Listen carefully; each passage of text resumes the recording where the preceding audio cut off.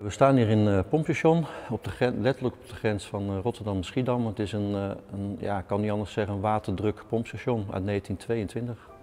Het had denk ik nogal wat voet in de aarde om het klaar te maken voor jouw fitnessclub. Ja, zeer zeker. Ik denk dat dit ook mede door de corona, wat er nog eens even bovenop komt, letterlijk bloed, zweet en tranen is geweest.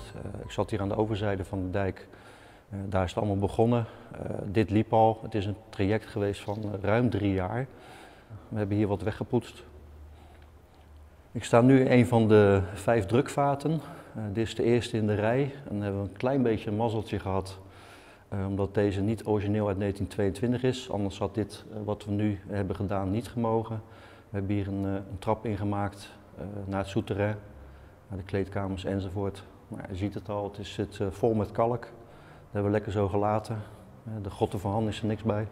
Ik weet nog goed dat de aannemer wilde het schoon gaan spuiten. Nou, godzijdank zit ik aan de overzijde van dit gebouw en ik heb, ze, ja, ik heb het weten te voorkomen.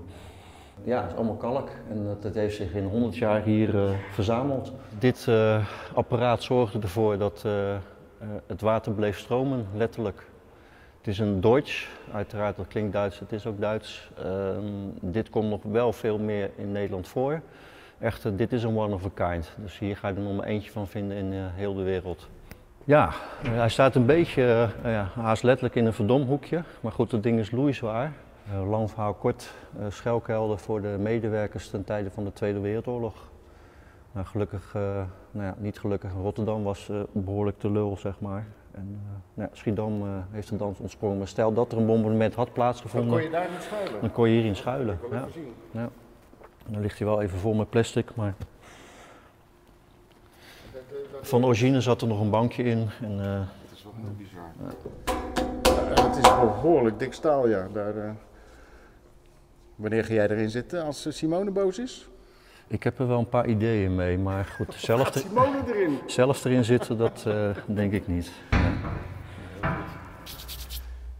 Je hebt ook een wat ander concept, een andere klandizie dan de grote fitness, sportscholen natuurlijk. Een wat ouder publiek, komen die terug of zijn ze toch een beetje angstig voor ja, dat corona?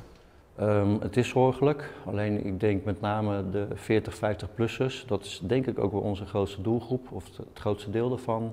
Uh, ja, die durven hier wel en ja, met name nogmaals door het concept, kleinschalig, uh, één op één trainingen samen met mijn partner. Ja, heel simpel vertaald. Uh, stel dat er nu een PT gaande is, dan ben ik dat met een, een van de leden en mijn partner. Dus dan sta je met z'n viertjes op 400 vierkante meter. Nou, je kunt al zien dat uh, alle apparatuur staat ruimschoots uh, van elkaar vandaan. Dus ja, ik denk dat wij heel goed kunnen voorzien in. Maar nogmaals, we hebben wat afgepoetst hier de afgelopen jaren. Ja. Zeker. Ja.